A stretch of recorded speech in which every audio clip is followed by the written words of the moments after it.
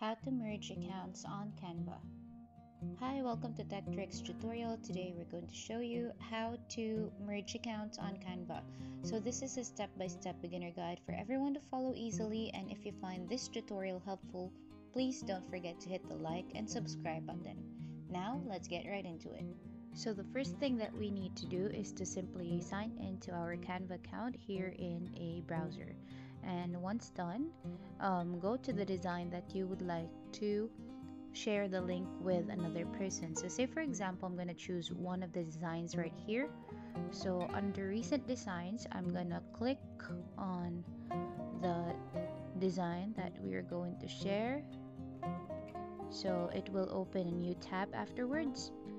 After that what you're going to do next is that it will show up the design will show up and here you can actually see the share button in the upper right hand corner. So click on the share button. Now once you share the button or click the share button rather you are going to be routed to this page. After that you can actually see collaboration link. So you just need to copy the link. But one thing that you need to make sure is that the option would be not only you can access. So invite your team to Canva and keep your teamwork in one place and collaborate in real time.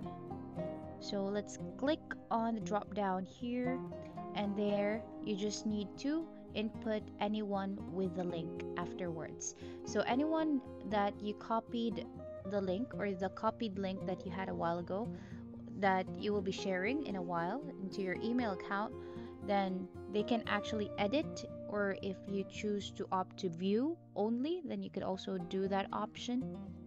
And basically that's about it. And that's it for today's video. Thank you so much for watching. Hope you find this video helpful